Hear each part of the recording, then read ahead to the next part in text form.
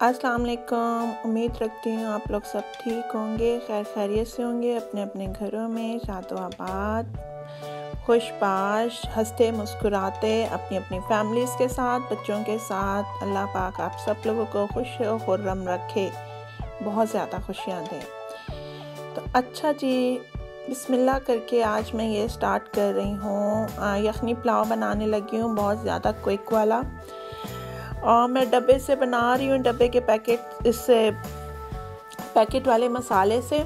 यखनी पुलाव, लजीज़ा का तो थोड़ा सा डिफरेंट मैं उसमें उसका प्रोसीजर कर लेती हूँ, प्याज को ब्राउन करके उसमें गोश्त डाल लेती हूँ, गोश्त को गोश्त को अच्छी तरह भूनती हूँ, लहसुन, अदरक डाल के एंड यखनी पुलाव का मसाला डाल के एंड देन उसे अच्छी तरह भून के उसमें पानी डाल डाल के उसका मसाला यखनी रेडी कर लेती हूँ और फिर इसमें चावल डाल लेती हूँ। तो ये वाला यखनी पुलाव जो है बेसिकली मैं अब ये प्रेफर करती हूँ इसलिए कि ये बेनतहा इसका टेस्ट बिल्कुल वैसा बनता है कि जैसा हम लोग घर के मसालों से बनाते हैं। और दूसरे जो शान और नेशनल है उस पर जो होता है, उसमें मसाला भी साबुत होता है बहुत ज़्यादा।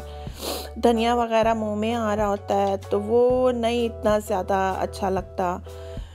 तो अभी कभी आप लोगों को भी यूज़ करना हो, लजीज़ा का, यखनी पुलाव का ये पैकेट वाला मसाला यूज़ करके देखें you will love it it's really very very nice just इसमें आपको कड़ी पत्ता नज़र आएगा और लौंग। एंड नथिंग एल्स कोई और ज़्यादा इंग्रेडिएंट्स आपको ऐसे साबुत साबुत नज़र नहीं आ रहे होंगे। तो चलें देखें मैं कैसे बनाती हूँ थोड़ा सा उसको वेरिएशन उसमें चेंज करके देन बताइएगा आप लोग फिर।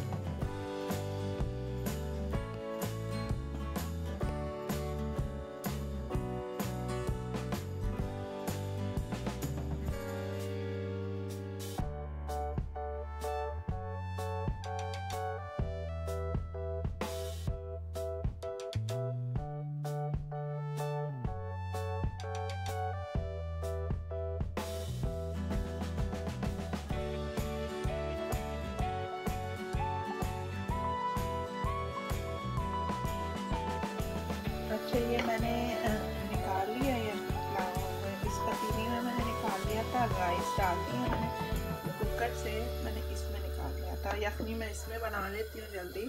और फिर इसमें मैं वो कर लेती हूँ, दम दे देती हूँ।